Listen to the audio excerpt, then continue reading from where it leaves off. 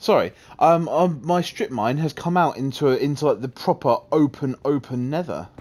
Dude, you gotta show me that cave! yeah, I just choked on air. I got so excited. I forgot about the cave.